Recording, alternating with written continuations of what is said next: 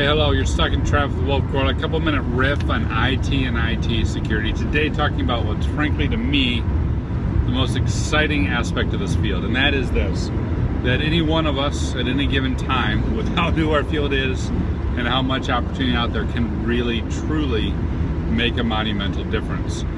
You know, I was at uh, Converge, I was talking to a lot of young students, a lot of um, young uh, entry-level professionals, people who I want to work with. And that was one of the things that uh, this one guy said to me that stuck out. I'm like, well, why do you want to get security? He's like, because earlier generations have figured out a lot, right? We've laid down um, TCP IP networks, we've figured out the ins and outs, but there's still enough room at the periphery. There's still enough frontier. There's still enough green space where any one of us at any given time can contribute to the state of the art.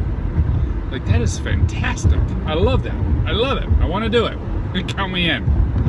And uh, there's a great story around WannaCry that really, in my opinion, um, highlights this. So if you haven't seen it, check it out. Tip to you. Um, do some research on why WannaCry was stopped, specifically around MalwareTech blog. Here's the thing.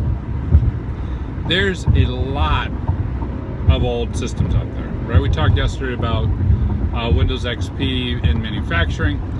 Uh, there's been studies that show that XP in the desktop still accounts for some 8% of the machines, or possibly as, as many as 2 million end user workstations, and that doesn't even take into account manufacturing and medical and everything else. And there's a lot of Windows boxes with the SMB ports open. Now, it's hard to say if they are Windows or not. It's hard to say if it's an SMB protocol or someone just decided to use TCP 445. But take a look at some of the scan results from Shodan. If you want, check out Viz's Twitter feed, uh, where it's anywhere from one and a half to two million boxes, two million IP addresses, two million hosts listening on those ports on the internet active.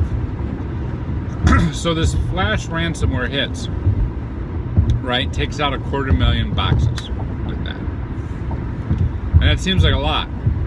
But then you stop to realize that there's probably 2 million hosts, you know, around the internet that it could have went at. There's probably, you know, several more million uh, behind firewalls.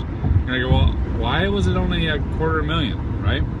Well, come to find out, the reason why was because it was killed. It was stopped. Someone pulled the kill switch.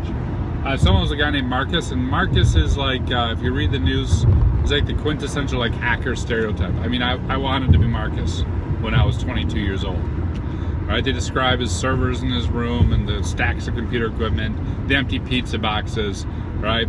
His love of surfing and these sort of things, and his love of malware. He's a security researcher, 22, didn't go to college, went right into the field, and he does security research and publishes a, a pretty popular blog. So he's pulling down WannaCry. He's taking a look at it. He's dissecting this malware, and he realizes, right, that there is this domain. He realizes that this domain um, is one of the things that's being checked, and he wonders what it does. So he buys it. He buys it, registers it. Doesn't cost much to register things. Registers it, and realizes the kill switch. And all of a sudden, Right? If you ever seen that like scene in the Matrix where all the robots just stop and they fall like rain, that's what happens.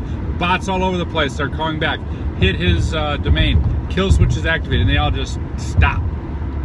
Quarter million. It would have been a lot, lot worse if it wasn't for this one guy. This one guy who was truly like the quintessential stereotype of the lone hacker facing the the uh, the bot hordes, right? Uh, I love it. I love it. And he stopped it. This 22 year old stopped it with nothing more than uh, a really good mind, nothing more. Really good mind, good education, a lucky hunch, and $10 US. So, yes, I, I love this field. Yes, I love the young people who are breaking into it. Yes, yes, by God, with every fiber of my being. I agree with that guy in Converge. He's like, why am I here?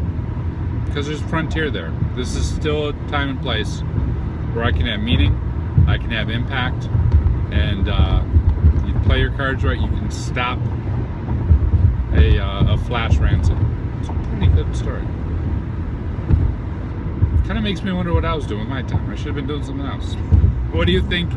Um, does give you some hope? It give you some optimism? What's your takeaways? Hit me up in comments or social media. Cheers.